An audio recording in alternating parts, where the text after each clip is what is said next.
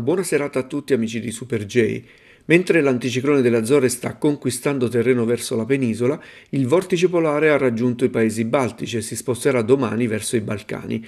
Durante il suo avvicinamento alla nostra penisola riuscirà a spingere aria molto fredda sulle regioni adriatiche, da monitorare cosa potrà accadere nel weekend perché, richiamato dal vortice polare, giungerà sull'Europa orientale il grande gelo siberiano e non si comprende ancora se possa giungere fin sull'Italia.